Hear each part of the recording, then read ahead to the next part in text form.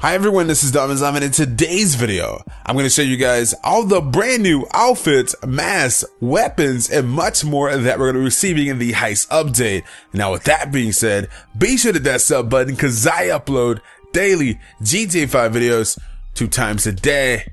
So hi everyone and welcome back to the DomIsLive 2 channel and today I'm going to be showcasing all the new items that we're going to be receiving in the Heist update. There has been a bevy of information that has been released and I'm so excited to show you guys. So this new information has been released by Fantasy Gamer and I'm going to be showcasing everything. So let's get this started.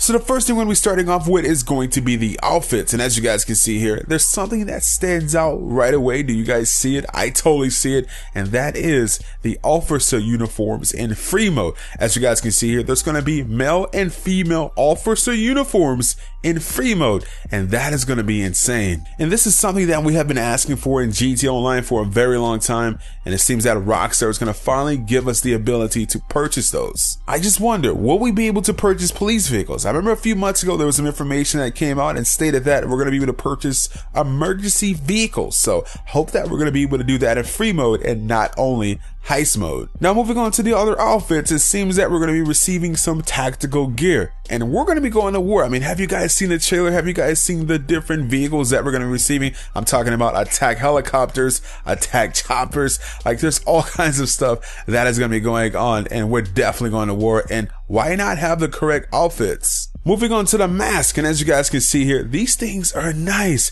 Check out the gas mask, check out all the different variants of those, even the ski mask, and there's even this crazy Tom Clancy Splinter Cell type mask on the top left hand side. This is pretty cool. We're finally going to be able to dress how we want to dress, and I can't wait to see what Rockstar is going to be doing for updates to come. Now moving on to the other gear, and as you guys can see here, these are photos taken from the heist planning board. This is the gear that we're going to be able to use in the different heist missions. Now you guys may have seen this in the heist trailer, but here's a close-up image of the flare gun that we're going to be receiving as well. I wonder, how is this going to be used? Like, what are we going to use this flare gun for? I can't wait to see.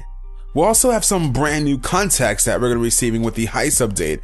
And the first one is going to be Agent. That looks to be Jeff. I don't know. You guys let me know in the comment section below. Moving on to the next one, we have AVI. And as you guys can tell from his shoulders, he looks to be wearing a prison jumpsuit. So is he going to be some kind of prison informant? What's going on there? After that, we have Bank Manager. Now, is this guy going to be some kind of inside worker to help us rob the banks? After that, we have HEI agent. Then after that, we have HEI business. After that, we have Maximum. Once again, this guy looks to be some kind of prisoner. As you can tell by his clothing, he's wearing a orange jumpsuit. Then last but not least, we have Maxi. So that's gonna be pretty cool. I want you guys to let me know in the comment section below. Are you guys excited for this brand new information? I know I am. I can't wait for a heist. There's so much information that is being released. It is insane.